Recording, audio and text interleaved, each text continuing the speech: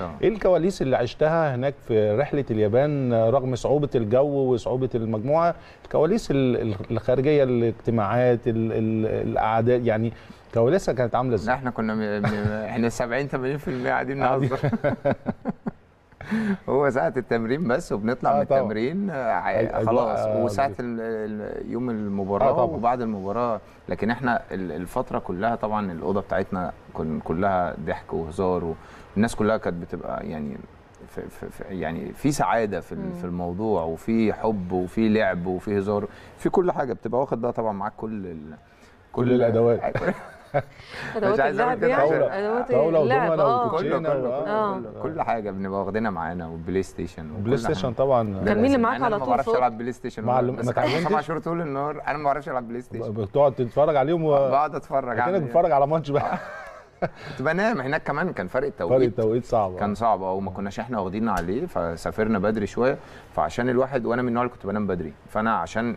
أقلب يومي آه. وأتأقلم على الجو هناك في اليابان. كان الموضوع بالنسبة لي صعب شوية. لكن يعني بعد يومين أو ثلاثة عقبال بقى ما مين ملك ال PlayStation؟ كان شديد وكان عاشور وكان آه، محمد سمير وكان أحمد عادل عبد المنعم. أحمد عادل منعم آه. وكان أحمد السيد. كلهم كانوا بيجوا يلعبوا. بس أنا ما كانش ليا بقى. أنا أقعد آكل لب أقعد أهزر أناكف فيهم نضرب في بعض. أنا هو تمرين الصبح ده- النهاردة أيوة، تمرين الصبح تمرين وتمرين الصبح. بالليل؟ ما إحنا لازم نضيع الوقت. آه، نلعب. بقى أي لعبة ثانية لكن PlayStation ما كنتش بحبوش التوقيت يعني. المرة دي بالنسبة للعيبة يعني قاتل. يعني أنت النهارده لا هتعرف تراكف ولا تهزر ولا ولا تقعد.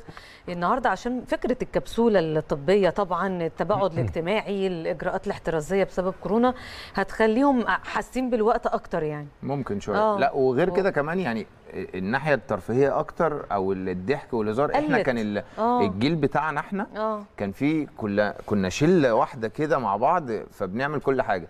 دلوقتي يمكن أنا كنت ب... يعني بتكلم آخر مرة مع وليد سلمان والشناوي كان برضو اتكلمت معاه في النقطة دي الموضوع بيقول لي ما بقاش زي أيامنا. زمان ده آه.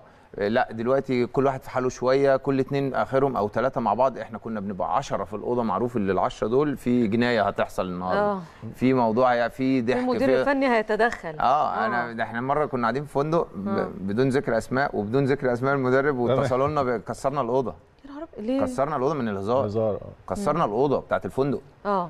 و- و- و- واتخصم مننا فلوس من كتر الهزار والضحك و- ضرب في بعض و... واللي يشيل ده واللي يع- كسرنا الأوضة بتاع اللي إحنا معسكرين الفندق اللي معسكرين فيه الأوضة اتكسرت بتاعت الأوضة. واتخصم منكم. واتخصم مننا. طبعا. ده لازم يتخصم منهم ده كويس. هم اتصلوا منهم جابوا بس الكابتن وجالنا الأوضة فالموضوع كان صعب. فكان في حب وكان في هزار وكان في لمة في الأوضة و... لكن دلوقتي مثلا ممكن كل اتنين في أوضة كل ثلاثة بكتير في الأوضة يعني ما- عادش الموضوع زي الأول قوي يعني. بس. فهم اللعيبة بقى دلوقتي مركزة أكتر. إحنا كنا الموضوع بقى لا بس خلي بالك آه شوية. يعني بس عشان الناس ما تفهمش غلط. أنتوا ساعة الجد وساعة أول ما إحنا يبدأ. كنا آه. يعني دايما دايما كلام. أصل ما فيش إحنا كنا بناخد كل البطولات يا كابتن. بالظبط. وكنا بنعمل كل حاجة بس ساعة ساعة الهزار هزار لا والجد ال- جد. أنا كل كلامي ده اللي أنا بقوله عشان ما حدش يفهمني غلط. إحنا بره التمرين وبره ال- بالظبط. الم- اوقات. الأوقات اللي قاعد ما عندكش الأوقات اللي إحنا في. الأوضة في الفندق بره التمرين. لكن بننزل التمرين مفيش خلي هزار لا.